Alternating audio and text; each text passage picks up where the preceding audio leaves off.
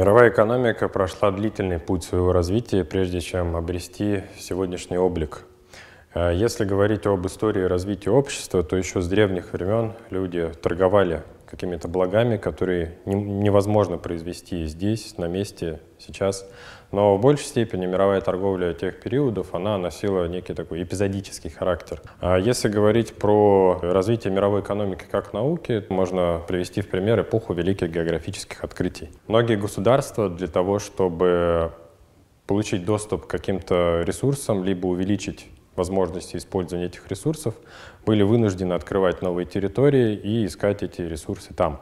Соответственно, а, в тот период характеризуется развитием а, колониальной системы. А многие страны европейские, разграбляя те же самые, например, американские территории, накапливают капитал и, имея возможность вкладываться в научную деятельность, развивают свою промышленность на основе новых технологий. И здесь формируется некий такой замкнутый круг – то, что новые технологии потребляют больше ресурсов, и, соответственно, эти ресурсы нужно где-то брать. То есть в большей степени эти периоды характеризуются борьбой за ресурсы.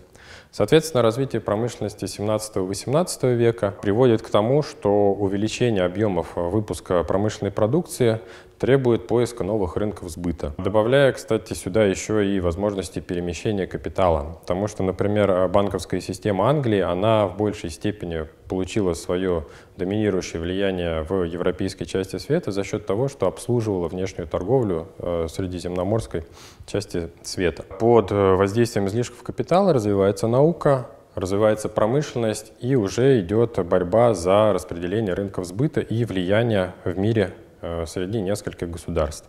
Если говорить про 18-19 век, то этот период характеризуется бурным развитием промышленности. Например, э, с 1870 по 1913 годы объем производимой промышленной продукции увеличился в пять раз. И здесь э, многие страны сталкиваются уже с тем, что необходимо расширять свое влияние в мире и начинают бороться за рынки сбыта. Таким образом, конкуренция между странами за ресурсы и за рынки сбыта приводит уже к двум мировым войнам. В истории всегда можно найти примеры тех событий, которые происходят сегодня, но в несколько ином контексте.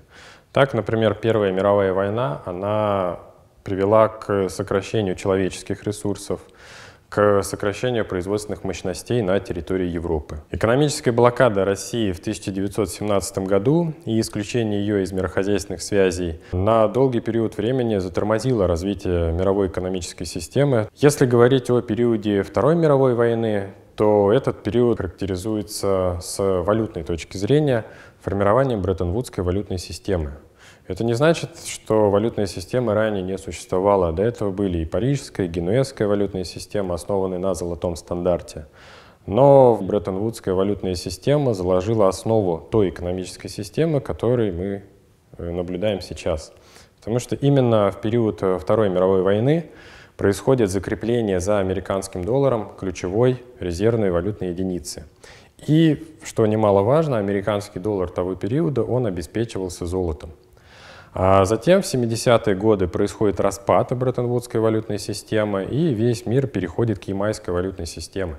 То есть а, ни одна из стран, а, подписавшая соглашение о вхождении в ямайскую валютную систему, не имеет возможности выражать свою валютную единицу через золото либо какой-то иной драгоценный металл. Это коренным образом меняет всю экономическую систему а, нашего мира. В 60-е годы происходит деколонизация многих э, территорий. И в конечном итоге эти новые развивающиеся страны, они начинают активно включаться э, в мировую торговлю. 70-е 80-е годы в большей степени характеризуются углублением интеграционных процессов на территории Европы, развитием глобализации во многих частях света. И в конечном итоге формируются транснациональные компании, которые во многом становятся двигателем этой глобализации. Также в 70-е и 80-е годы нарастает противоречие между социалистическими и капиталистическими странами, что в 90-х годах приводит в конечном итоге к распаду Советского Союза. Если говорить про историю 21 века, то многим 21 век уже знаком не по учебникам, а по в большей степени новостным лентам. А если глобально рассматривать данный период, то в 21 веке формируется уже глобализация в цифровом пространстве, формирование э, цифрового общества, и данный период времени характеризуется неравномерностью доступа к цифровым технологиям на территории многих государств, что опять же порождает конкуренцию между странами и попытки распределить зоны влияния в этой сфере. В качестве интересных источников э, можно порекомендовать некоторые книжки. В частности, я бы порекомендовал книгу автора Эткинда «Природа зла, сырье и государство». А в этой книге достаточно подробно рассматривается конкуренция между странами за ресурсы и каким образом страны в борьбе за ресурсы меняли климат на своей территории. Ознакомившись с данной книгой, можно легко проследить, каким образом страны боролись за доступ к тем или иным ресурсам. А также можно порекомендовать книгу Дэниела Ергена «Новая карта мира». Книга рассказывает о противостоянии стран по захвату ресурсов, по расширению сферы своего влияния. И новая книга, там переиздание было, в большей степени рассказывает о новейшей истории, о 20-21 веке, каким образом прослеживались интересы конкретных правительств, правителей, а, интересы бизнеса по взаимодействию на территории различных стран и подчинению различных других государств своему влиянию. Книга очень интересная и многогранная. Рассказывает не только о экономических э, предпосылках тех или иных действий, но и также о политической подоплеке всего того, что происходит. Спасибо за внимание.